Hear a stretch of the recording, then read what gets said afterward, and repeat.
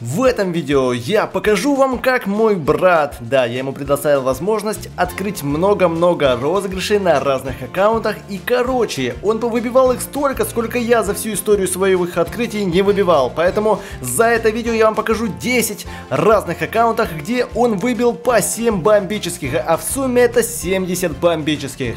Приятного просмотра, и в первом контейнере нас выпадает 200 золота, хорошо. 1000 свободки там, ну, пока что удача у него такая себе. Но это не говорит о том, что может не повезти. Так, 500 золота, мистик, хорошо. Пишите комментарии, ребят, если вы в последнее время реально вам удалось где-то на твинках выбить 7 бомбических контейнеров, это будет очень круто. А у него все черный ящик, там 200 золота. Пока ничего такого супер-пупер особенного, что окупило бы весь его, а, как бы, путь затраченного золота, во. Так, ладненько. Кстати, заберите, пожалуйста, удачу за, за креп комментарии, потому что это очень будет круто. А у него, смотрите, что выпадает.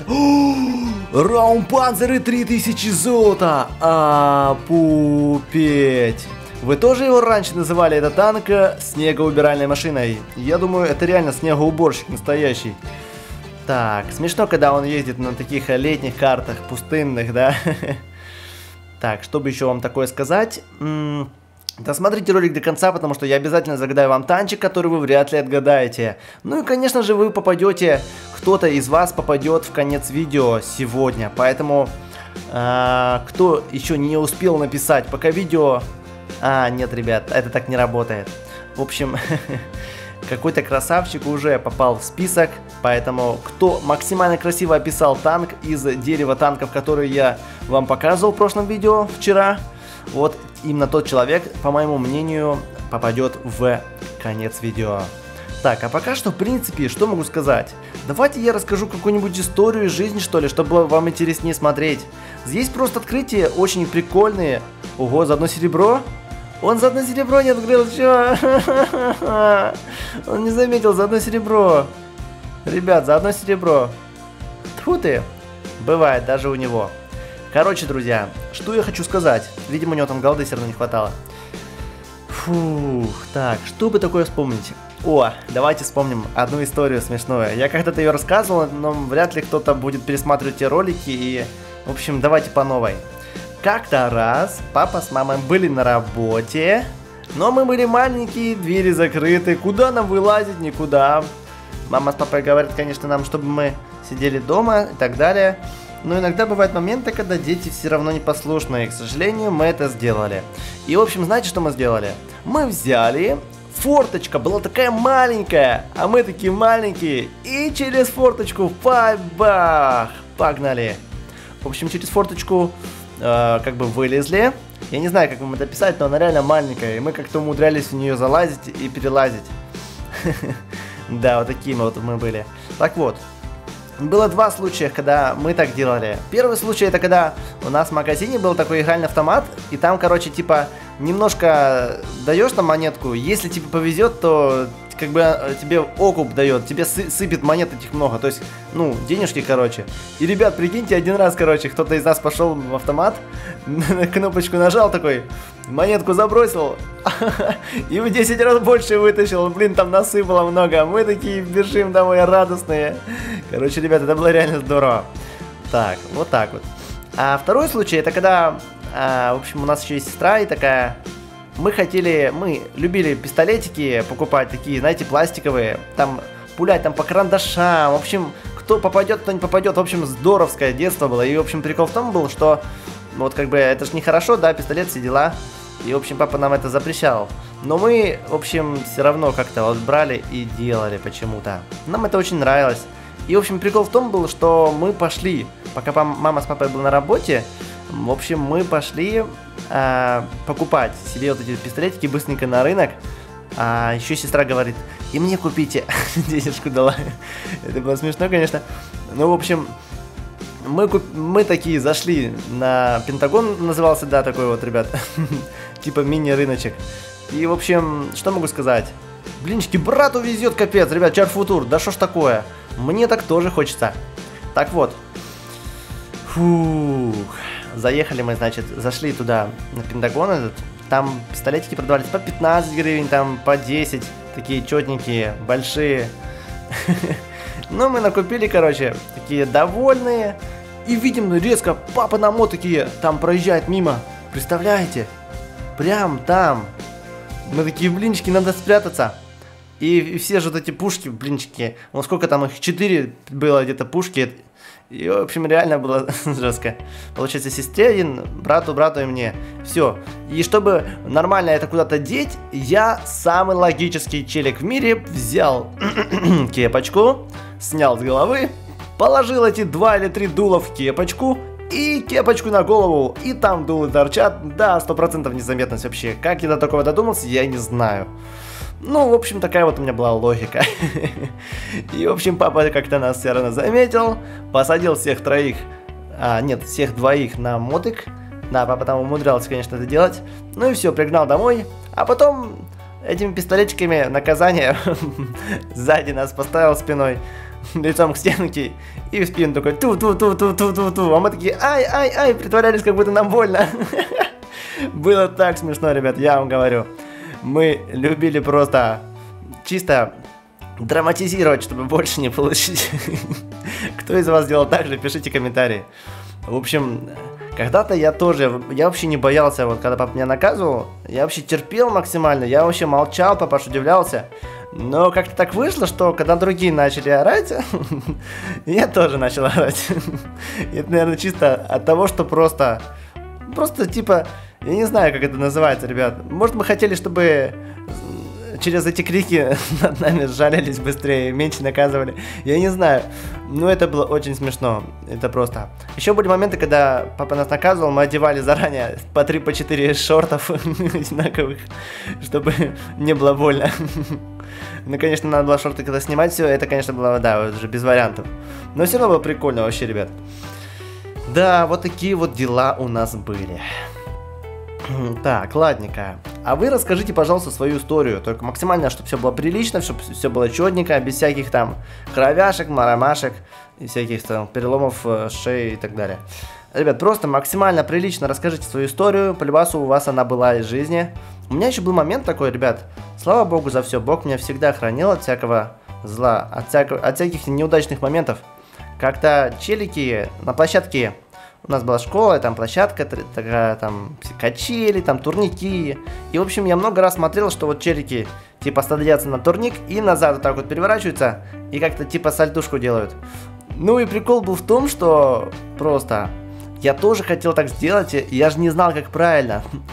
Ого, КП за 50 блинчики ему везет, ребят. Вот это я понимаю выпадение. Так вот, был прикол в том, что я сел, значит, на турник, еле забрался. И тупо, представляете, надо было просто держаться. Надо было держаться. Сейчас, секундочку, у меня вентилятор упал. 10 голды, да ладно, ребят, что это такое? Нужно было просто держаться, понимаете? Держаться и переворот делать назад. А я просто взял и назад, бабах! И даже не держался. Ребят, я бы мог бы голову уже разбить и сломать шею. Понимаете, я уже мог бы быть мертв уже столько раз, что вам просто не снилось. Я даже при рождении умирал, поэтому слава богу за все, ребят. Я буду благодарить Бога каждый день, потому что Бог нас всех создал, и слава Богу за это все. И кто в Бога не верит, ребят, я вам очень сочувствую, потому что я лично пережил с Богом такие моменты, что просто ну, невозможно сказать, что Бога не существует. Потому что Бог постоянно об, обо мне и о всей моей семье заботится, и слава Богу за это, потому что это реально очень здорово. И что бы ни случилось, друзья, я на позитиве, потому что я знаю, что все благодаря Богу. И если бы не Бог, то моя жизнь бы уже давно не существовала бы. Так что, друзья, я вам желаю удачи, всего наилучшего. Вот такие вот дела. Так, ладно. Брат тут, конечно, да, галдишечки насобирал. Осталось самое интересное. Черные ящики. Дойдет ли он с этого количества черных ящиков до более высокого уровня, никто не знает.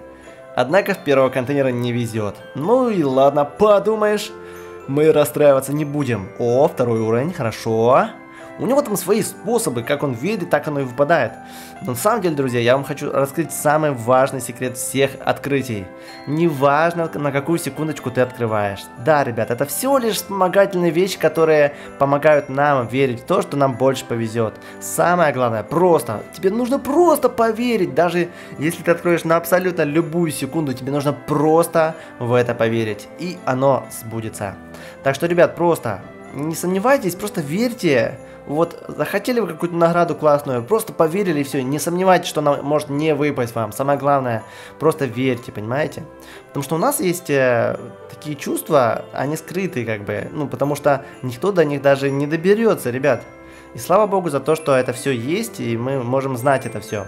У нас есть вера и неверие. Когда мы просто не верим, у нас ничего не получается, понимаете, ребят? Вот многие моменты из вашей жизни, из вашей игры просто все самые невезучие моменты, ребят, сопоставьте с тем, что вот просто вы не верили, у вас не получалось только из-за этого.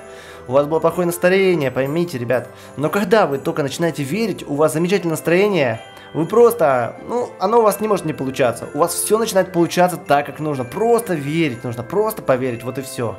Я просто поделюсь с вами, с вами опытом. Я когда играл в танчики, ну, достаточно часто, у меня еще было на это все время. И, короче, и я, значит, играл и в гравитацию, и не в гравитацию.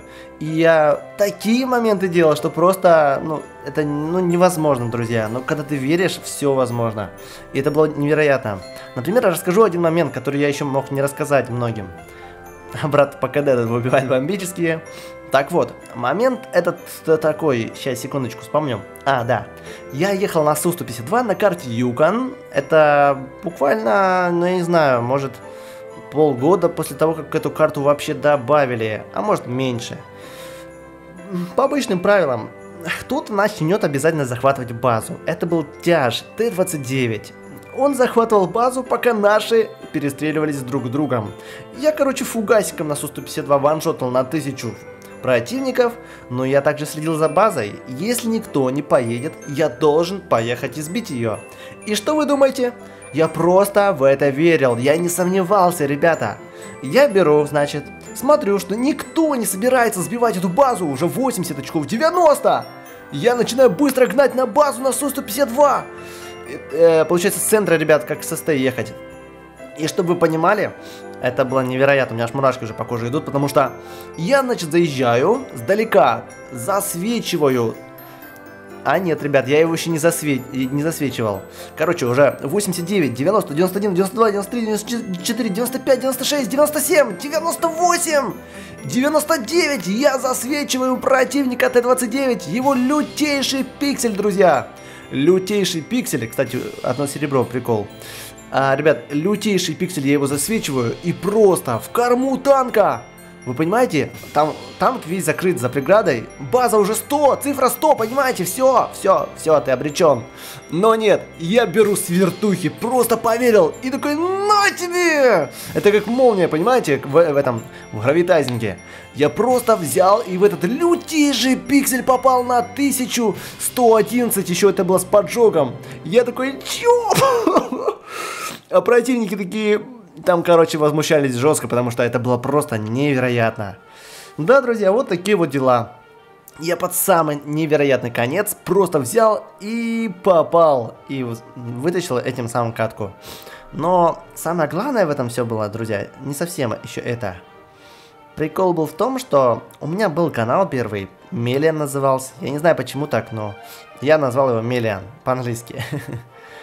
Да, его сейчас уже нету, и там было тоже, друзья, где-то, ну, 500 с плюсом видеороликов вместе с трансляциями, или 800, я уже честно не помню. Но там было, короче, 1500 где-то подписчиков с плюсом. И, в общем, я шел, шел, шел, просто играл, просто делал контент, который тоже все не делал неправильно, оптимизацию вообще не делал, то есть по пару просмотров набирал, там по 30, по 50, может, максимум. И все, друзья, ну, мне этого хватало, знаете, 100 подписчиков за месяц. Я такой, вот это я понимаю. Это уже результат. Хороший результат. Поэтому, друзья, я такой, ну, блинчики, класс. А сейчас смотрю, ребят, сейчас 5200 подписчиков за один месяц. Я такой, вот результат. Да, и весь прикол в том, что там было реально вот это все, что я вам сейчас рассказываю. Там были эти моменты невероятные. К сожалению, некоторые самые невероятные, такие как вот это вот сбил базу на 100%. Да, друзья, к сожалению, это я вам уже нигде не покажу, но я буду рассказывать частенько, потому что это реально очень-очень здорово. Так, ладно. Был еще момент гравитации, значит. На танке Су-152 а, я играл с телефона. Это было даже два момента. И они даже есть в шорте. А, давайте три расскажу момента. Был один момент, давайте сначала рандом расскажу. Значит, еду я с челиком по связи, общались там, играли по связи. Значит, на Су-152 на карте древние пирамиды. И тут эти вот, вот эти вот мостики. Под конец остался танк. То есть нас где-то четверо, трое, а танк один ВК-101П. И со взводом на Су-152, или он на крушителе был, уже точно не помню. Но прикол весь в том, что есть у меня об этом короткое видео, как взорвать боеукладку ВК-101П. И это было так прикольно, ребят, я вам не говорю, я вам просто не могу этого объяснить, это жестко было. Что было? Значит, он выезжает под наклоном ВК-101П. Вы все знаете, как он бронированный. И на Су-152 на стоком орудии это нереально его просто выцелить и пробить. Но, как только он немножечко под наклоном начал ехать вниз, спускаться с горки, я моментально с вертухи, с вертухи бью в этот серый кусочек башни и просто взрываю боекладку на фул. И это было самое невероятное, ребят, событие в танчиках. Это такое просто, ну, просто слов нету. Поэтому, возможно, я буду в ближайшее время больше играть танчики, больше тащить скиллуху, ведь когда выйдет нормально новая физика, где танки смогут переворачиваться и графика будет еще лучше, я с удовольствием буду для вас играть такие бои, что вам просто не снилось. Да, ребята, если я начинаю в это все вникать, если я начинаю как бы тащить по-настоящему, я не могу остановиться, ребята, я просто беру и верю, что у меня все получится. И в самых безвыходных ситуациях я брал Колобанова, меня не пробивали в серое, и это было просто невероятно. А все только потому, что нужно просто в это поверить, вот и все. И все ваши самые невероятные бои, ребятки, даются вам не просто так, а нужно просто поверить. Да, не просто так, потому что поверить тоже может не каждый. Так что, друзья, я просто вам делюсь с вами опытом. Был еще момент, даже два момента в гравитации. Значит, с телефона я, давайте расскажу, на Су-152 была карта Мидлбург, и там Шкода Т-45. Значит, на СТ поехал и немножечко на горочку заехал, немножечко. Вы все знаете, какой он красный. Он реально только в НЛДшечку прошивается, чтобы просто его пробить. И, короче, я как-то подлетаю со своей базы, он засвечивается, и просто поверил, ребят, я знал, что это нереально, это невозможно, но я просто поверил. И каким-то чудом мой бронебойный снаряд летит так насквозь танка, что просто на фул взрывает ему боеукладку. И у меня аж мурашки по коже пошли. Что? Да, друзья, это тоже у меня есть на канале, поэтому если вы найдете, пишите комментарии, вы просто лучшие. Фух. Самое крутое в этом то, что это все было через веру, друзья. Поверил и все, это случилось. Еще один момент. Тоже есть э, короткое видео об этом. На бабахе. Карта эшелон. Значит, стою я на СТ позиции, только уже в ПТ позиции. Ну, на СТ фланге. ПТ позиция. В уголку там где-то стою. Так, чтобы меня не замечали, подлетать, давать тычки. Остались как-то мы буквально там ну, мало противников. И тут едет на меня Минотавр. Фуловый, ребята, Минотавр, у него три снаряда в барабане. Он же меня может так отпулять, что я буду колбаситься и просто не попадать по нему. Но нет, я не сомневался. Я даже с сенсора, с телефона просто, просто подлетел. Как он только начал близко подъезжать, я просто подлетаю, я просто в это поверил. И с вертухи, ребята, сенсора. Просто поверил, не обязательно вам иметь какой-то супер джойстик, ребят, просто нужно верить. Я просто поверил и с вертухи в боеукладку на фул. Хотя он был, был надо мной, практически прям надо мной. То есть надо было лютую вертуху сделать, раскачать танк одновременно. И просто, это, это невозможно, ребят. Но это тоже все есть на канале, поэтому ищите, кто найдет, просто респект огромный. Пишите комментарии, если вы это нашли. Это было очень здорово. А пока вот эти вот открытия классные идут, я думаю, вам очень приятно как бы узнавать новые истории, для кого-то новые, для кого-то старые, но все равно прикольно все звучит, как по мне. И слава богу за то, что, ребят, у нас есть такой вот мониторчик классный, микрофончик. У меня даже есть вентилятор, чтобы мне жарко не было, потому что у нас жарко. слава богу, ребят, за это. У меня колоночки от фирмы Genius, клавиатура Genius, и все очень даже очень классно. Мне все нравится, ребят. У меня есть телефончик здоровский, веб-камера 4К Full HD. да, может не такая дорогая, это 1750 гривен, но все равно это не из дешевок. И как вы видите, стримчики реально здоровские. Поэтому, кто еще, сегодня у нас 10 июля, кто еще не зашел на стрим, пожалуйста, зайдите на стрим и посмотрите его. В конце видео он будет запланирован. Ну, а тот, кто зайдет уже после того, как сам стрим пройдет, я буду играть где-то там 2 или 3 часа, я точно не знаю. Посмотрим, друзья, будем играть в гравитайзинг во взводе на евросервере. И вам очень понравится, потому что у меня есть новый танчик для подрыва боеукладок это BZ-75. Мне очень понравилось то, что у него способность, как у Су-30ПМ, а это моя любимая способность, и никто никогда ее не заменит. Просто не все знают, ребят, лайфхаки, тонкости. Как я так часто боеукладки взрываю? Нужно просто знать, как это работает. Вот и все, друзья. И, и, конечно же, самое главное, это опять-таки верить. Если ты не будешь верить, то даже с этим ты просто выстрелишь в тот момент, когда шансы не таковые, чтобы подорвать боеукладку, а просто критануть. И, возможно, даже порой ты даже не кританешь. Поэтому, ребят, самое главное, это просто поверить. И если вы будете двигаться в жизни просто по вере, ребят, так будет намного лучше. И не забывайте, ребят, что это все не просто так. Нужно за все благодарить Бога. И чтобы Бог просто явился вам в вашу жизнь, чтобы вам было намного лучше, потому что сейчас столько несчастных людей. Идешь по улице, люди в основном рассказывают о всяких бедах, как они унылы, как они устали, как они... Это очень-очень-очень... Реально нехорошо. Но когда ты действительно сам знаешь, как правильно, и ты прям ну, берешь и говоришь о Боге, рассказываешь, как это на самом деле, что Бог только может помочь, обратитесь к Богу, к Богу. Ребят, просто не каким-то богам, ребят, с маленьких буквы. Есть Бог только один по Библии, Иисус Христос, который, Он пришел на землю, чтобы спасти нас всех, понимаете? Он умер на кресте, Он воскрес, и мы ранами Его исцелены. То есть все зависит только Конечно, многие могут думать, что все зависит от Бога, ребят, но Бог нам дает выбор, чтобы мы выбирали, как нам жить, кем быть и что выбирать вообще. За кого быть, за Бога или не за Бога. Потому что, ребят, конец, если мы будем просто неправы, если мы не будем жить правильно, если мы не будем, как бы, если не, мы не будем стоять за истину, если мы вообще, ну, ради чего мы живем, если мы не будем на верной стороне, то вся наша жизнь просто, это просто ничто, ребят, понимаете? ну, зачем это все нужно, если мы окажемся в аду и будем там просто в муках вечных? Ребят, это, это, не, это нехорошо. Поэтому, друзья, пока это все не настало, у нас есть время. Очень миллиарды, миллиарды свидетелей есть э, на Земле. И сколько людей свидетельствуют о Боге, о всех чудесах, которые Он совершал. И что только не происходило, ребят, просто нужно только верить, понимаете? Это дается через веру. Без веры Богу угодить невозможно. Поэтому, друзья, некоторым я, я даже не хочу извиняться за то, что я говорю на эти темы, ребят. Я просто вам говорю правду так, как оно есть. Мне не волнуют критики, мне не волнуют люди, которые со мной не согласны. Я знаю просто, что это правда, вот и все. Потому что я это как бы опробовал на своей шкуре, вот, вот и все. Можно так это назвать. Поэтому, друзья, я вам желаю реально всего наилучшего, чтобы в вашей жизни все было хорошо, чтобы Бог пришел в вашу жизнь и просто изменил ее к лучшему. Поэтому, танкистчики и подписчики, я всегда говорю, что это всего лишь игра. Я на... просто рад, что могу обращаться к вам, поднимать вам настроение и делать все для вас. Ладно, ребят, давайте загадаем танчик, а то не успеем.